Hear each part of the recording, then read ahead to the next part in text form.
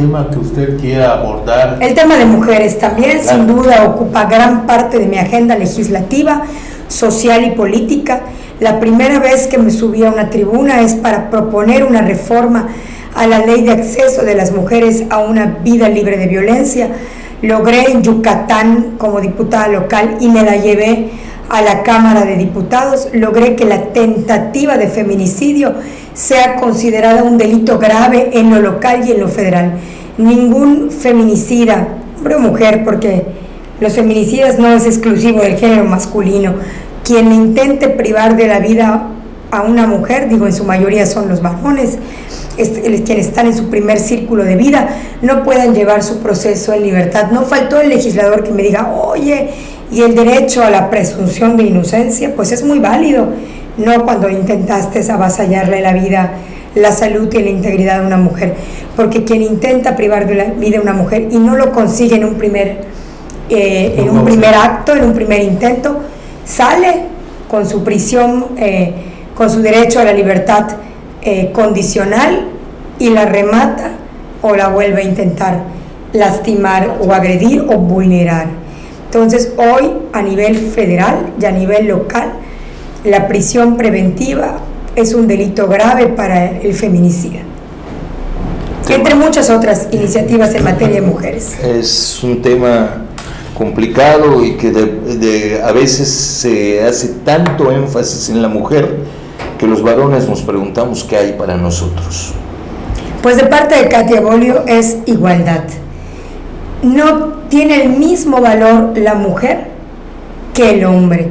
Lo que he pedido toda mi vida, desde mi día uno. Acuérdense que yo en el PAN fui secretaria estatal de promoción política de la mujer cuando no habían derechos de paridad. Cuando tuve por primera vez 12 alcaldesas panistas, no luché por las candidaturas para las mujeres de mi partido, logramos 12, 12 primeras alcaldesas. Eh, en la historia del PAN llegaban 5, llegaban 6 y sobre todo que cuando llegaban eran municipios chiquititos. También como diputada local logré la paridad total para el Poder Judicial, Ejecutivo y Legislativo, igual número de candidatas, igual número de candidatos. ¿Qué pido para los varones? Igualdad.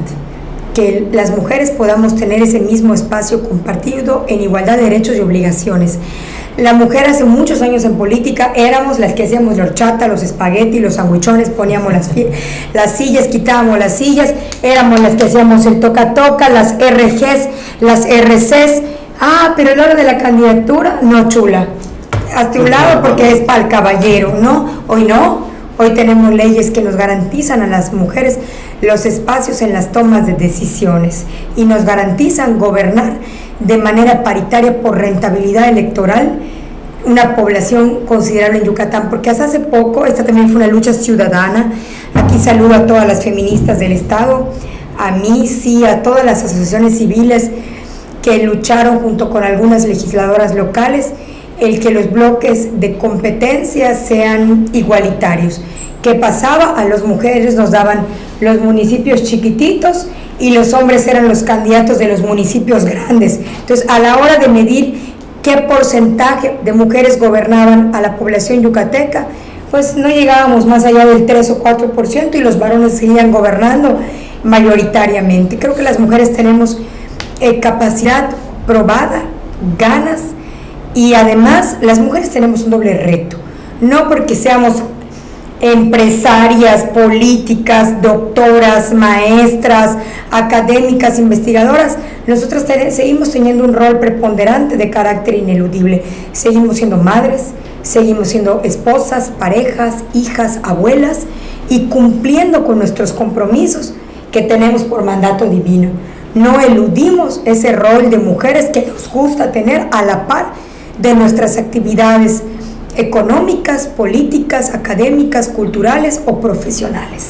Bien, pues Katia, para concluir, eh, viene próximamente, ya estamos a unos cuantos días, Ay, ya sí. estamos viendo un gran reto. muy cercano, ¿no? El, el- el día D, el día de la verdadera encuesta. Así es, encuestas, desde hace algunos años en México la encuestocracia se ha puesto de moda, pero también el día cero, como decía don Víctor, o el día D, como es conocido en política, nos ha dado verdaderos parámetros. Bueno, creo que lo, puedo platicar aquí porque me siento en confianza, el, el propio candidato al Senado lo ha dicho, él tuvo sus propias encuestas en la elección de 2018 todas le daban el triunfo, incluso la de salida al candidato eh, Mauricio Saúl, al hoy otro. Morenista. Hoy morenista, hoy, neomorenista, hoy parte de ese primor, a que se llene en ellos la boca en decir que somos el PRIAN. Este, y pues dice él que fue el primer sorprendido cuando sale el YEPAC a decir que el candidato, que el candidato gobernador que había triunfado era Mauricio Vila.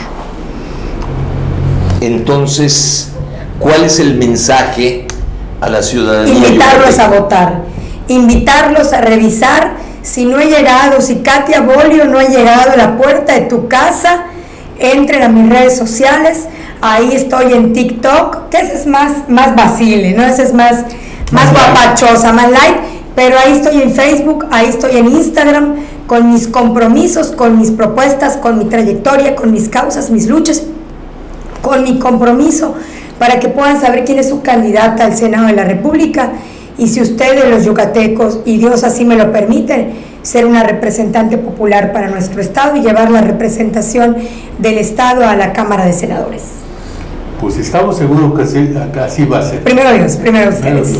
Katia, te agradecemos gracias, mucho Guillermo Don el, el, favor de tu atención. Muchas gracias, amigos, a todos ustedes por su amable atención. Gracias a Katia eh, por habernos acompañado el día de hoy. Como siempre, la presencia de Víctor, compañero y amigo, eh, no solamente en el programa, sino también en el portal, en NotiRed Mérida. Los invitamos a seguirnos.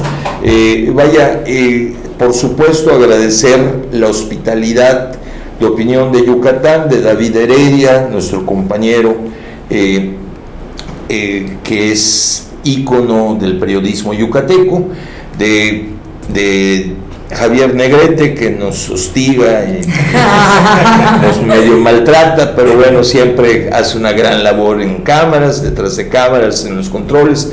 Muchas gracias y les agradecemos infinito.